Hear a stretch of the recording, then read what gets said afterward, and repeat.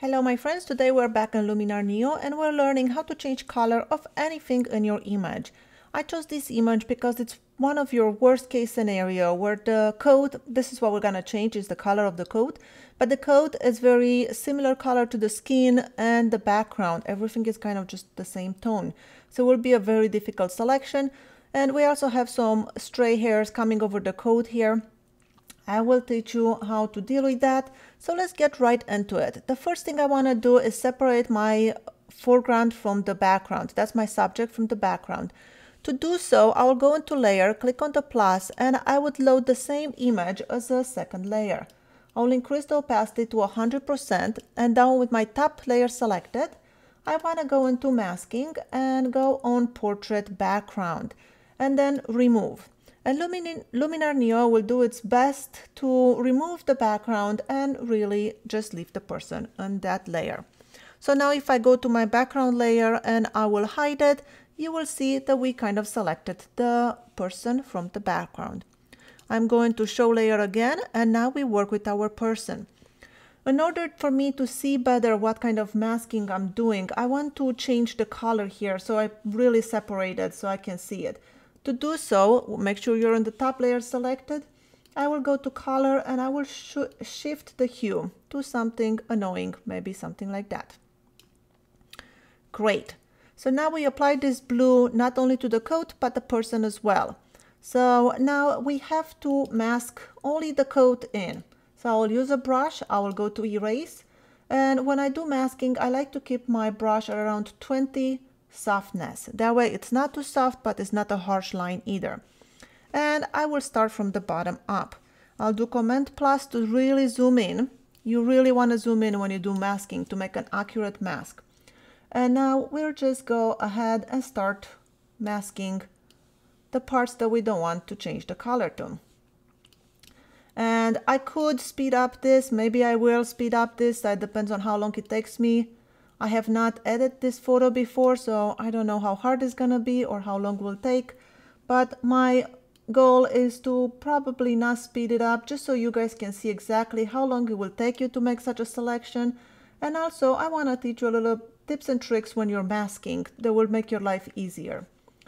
So let's see. We got the chair done. Now moving into the leg, we have this part of the inner thigh. We have to not forget about that. Here is a trick when you have a sharp corner like this. You want to paint over it, just like that. And then you take the paintbrush and you make your my uh, lines that are not sharp corners. You see we're pointing back. Oops, went too much there. Going back to the erase. I'm going to erase a little bit more here. Go back to paint. And now by making these lines, I will get my very sharp corner masking there. There you go. Well, the, the leg really needs to be erased as well, so I didn't really help too much. Let's see. Oh, I have to go to erase. I was in the wrong thing. So going just like that. The better selection you're making, the better the effect would look. Go back to paint because I went too far there. Go to erase. Here's a little tip for you. If you have a straight line, just click on it, hold down shift and then go down and click again and you will make a very straight line. And that will help a lot with selections. I can do probably the same thing here.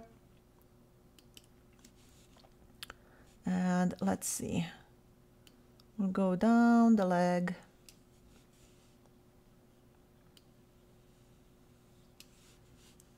all right. Now I'm going to make my brush a lot bigger. Let's see. Over here. I'm trying to move as quick as I can so I don't bore you guys to that but I also don't really want to speed it up because I want you to see all the things that I'm going to encounter and how I deal with them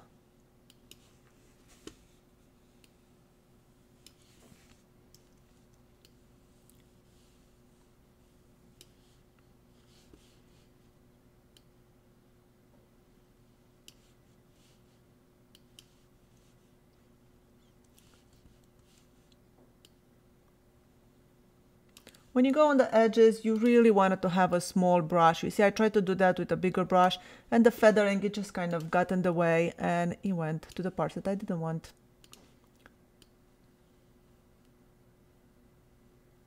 So you want to be as zoomed in as you can and, you know, small brush. I'm doing this with the mouse. I should have used my pen. Maybe I was a little bit more accurate, but it's working. It's just a little bit slow. Let's see. I'm gonna fill in these parts now. Like that. Now we have to do the hand.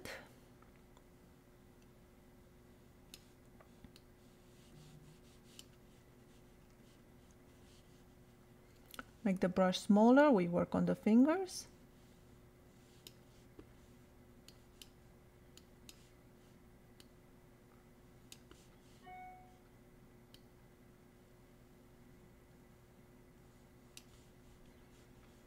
Make the brush bigger.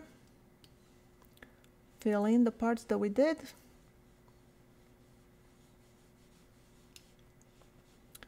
Great and let's see now we have another sharp corner here so I'll just go over and then with the paint I will smaller brush fill in like this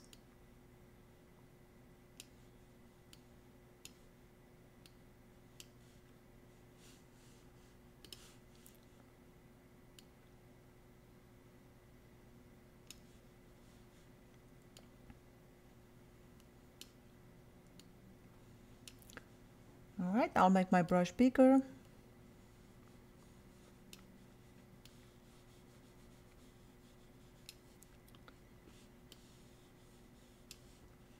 Uh, zoom out command 0 to fit to screen. I can make my brush a lot bigger and just really fill in this leg.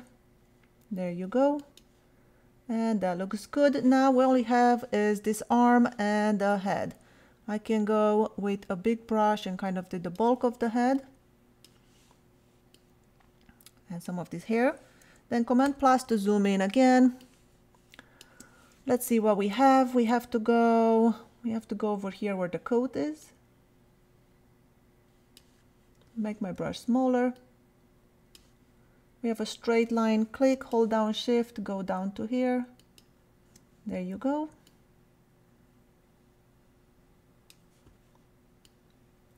I went a little bit over there.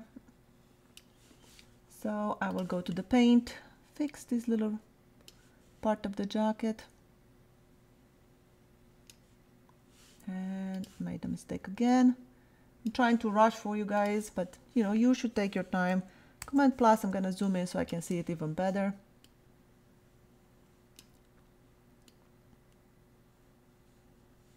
There you go.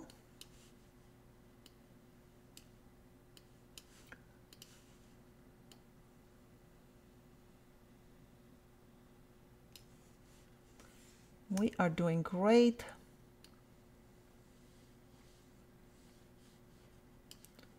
Almost done.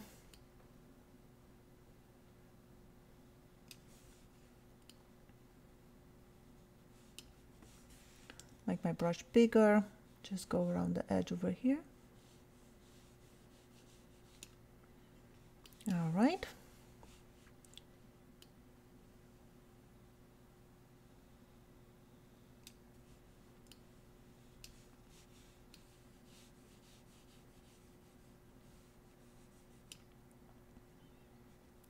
What are we doing here? This is the arm.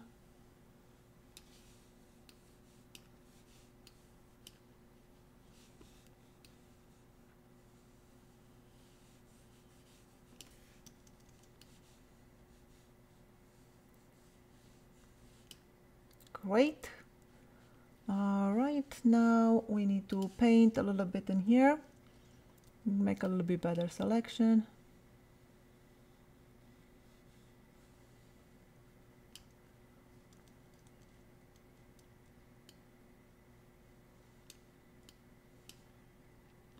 and erase the fingertips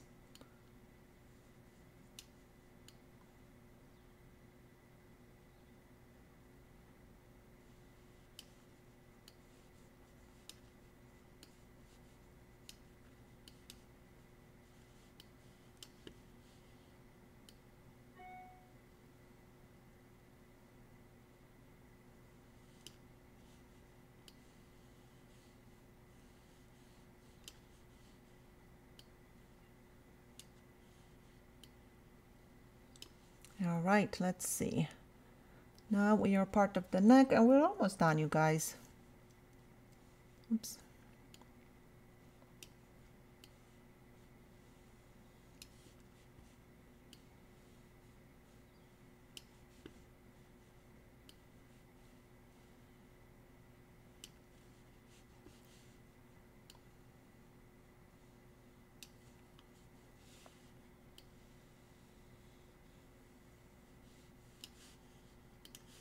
Just keep going back and forward between paint and erase.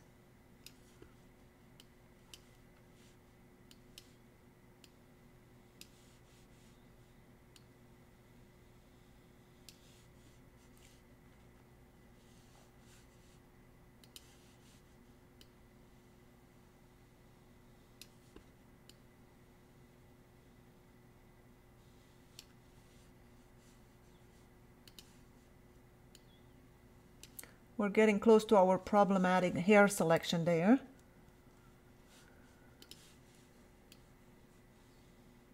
Now fill in the neck parts.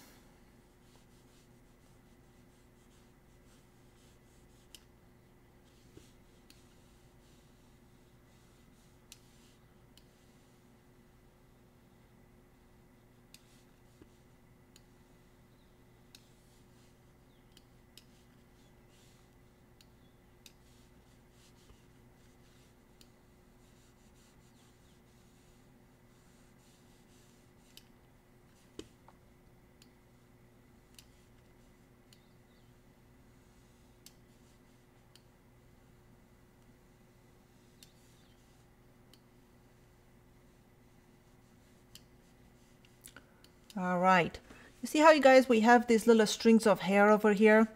Well, what we want to do is we can't really select them, but what we want to do, we want to really, really zoom in.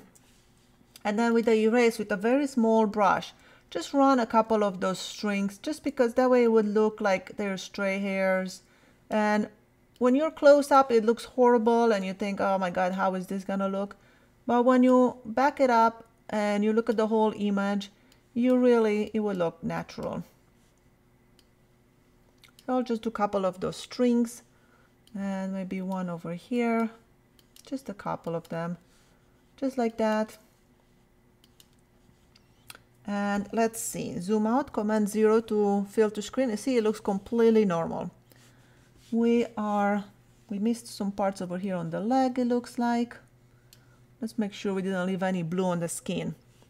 All right, great. Now we have a selection. So we are back to the adjustments and now we can shift the hue to whatever color we want. And you see you guys, it took a while to make the selection, but we can pretty much change this coat now to whatever color we want. And if you want even more color colors than what you can get with the shift, you can of course work with the saturation and hue and luminance but you can also go to your masking because we did such an awesome mask. We can go to masking, go to mask action and you can copy it.